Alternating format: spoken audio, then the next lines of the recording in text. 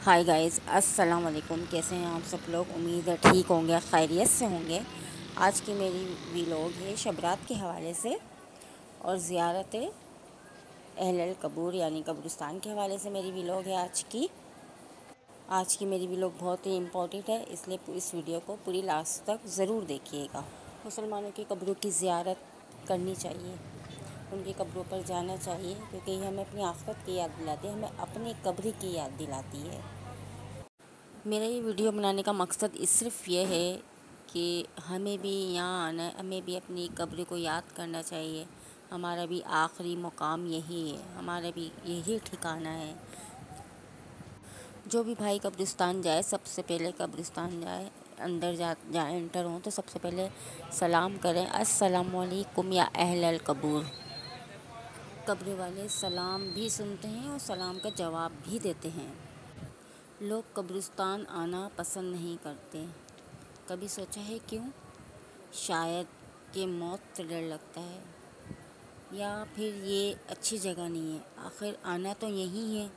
हमारा आखिरी ठिकाना भी यही है। आपको पता है कि हमारे नबी सल्लल्लाहु अलैहि वसल्लम कब्रिस्तान आया करते थे। कभी गौर करें, हम यहाँ कितनी बार आते हैं? यहाँ सब कब्रें एक जैसी हैं। यहाँ कितना सुकून है, ना कोई छोटा है, ना कोई बड़ा है। सबका मुकाम एक जैसा है, सबकी कब्रें है। इस कब्र में किसके साथ क्या मामला है?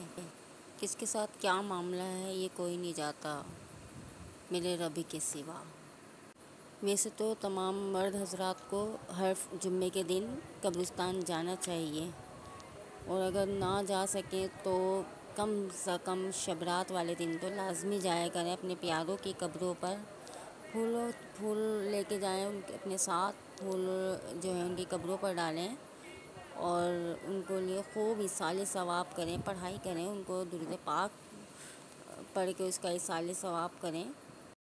ख़वातीन अपने घरों में बैठ के अपने मुर्दों के लिए साल सवाब करें, ज़्यादा से ज़्यादा। इसके साथ ही मुझे इजाज़त दीजिए, अल्लाह हाफिज़। अगर आपको मेरी वीडियो अच्छी लगी हो तो इसको एक लाइक ज़रूर दीजिएगा।